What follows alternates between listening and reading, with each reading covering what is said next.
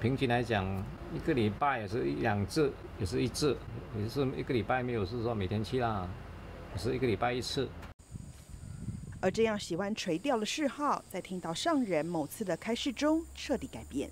上人开示啊，讲尊重生命啊，喂，突然间我醒过来，是我也钓钓鱼也是杀生，一方面也是 感觉到很不忍心啊。原来邱文良自小父母相继过世，由外婆抚养长大。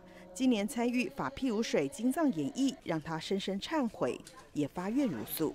现在没有掉了啊，感感觉他很平安，因为他可以跟他孩子还是他们自由自在的游咯。同样也是因为演绎忏悔往昔所造的杀业的，还有吴雅妹。家里因为贫穷，也没有什么钱去买肉。过年过节就会杀鸡呀，或者是说我们白兔就是杀来炖补咯。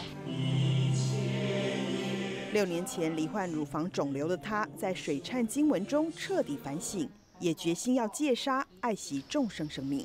到小白兔都想到当初我宰杀的那三十多只小小白兔，所以我愿意忏悔，发愿如数。不再吃众神肉。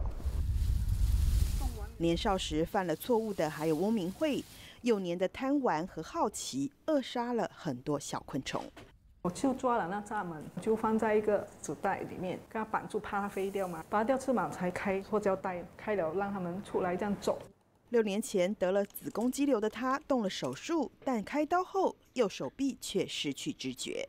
半夜的时候，我的手已经是僵硬的，好像很多蚂蚁在咬我这样。要驾车的时候，我是需要用左手将我的右手提上来抓住这个驾驶盘，就是那个驾驶盘，我是没有办法移动这个右手。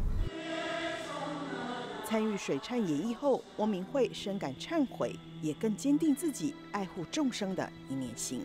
小时候的无知，所以哈是讲。因果历历不爽，所以造业岂能不忏？大新闻，马来西亚报道。